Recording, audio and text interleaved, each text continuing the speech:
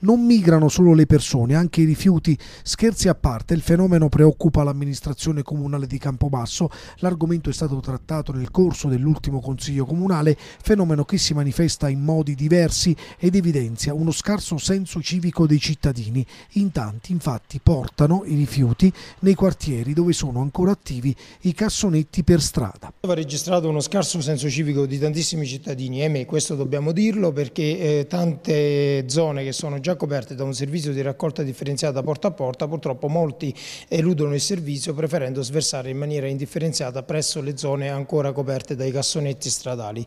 Questo è un atteggiamento sicuramente poco eh, collaborativo da parte della cittadinanza che speriamo finisca presto nel momento in cui l'intera città sarà coperta dal servizio di raccolta differenziata. E per non farsi mancare nulla, Campobasso accoglie anche i rifiuti dei paesi limitrofi. L'assessore Cretella annuncia interventi immediati e atti tesi a disincentivare il fenomeno, ricorrendo anche a videosorveglianza e fototrappole. Utenza che evidentemente eh, grava sulla città di Campobasso preferisce portarsi a spasso i rifiuti e depositarli all'interno dei cassonetti nelle immediate prossimità dell'ingresso della città.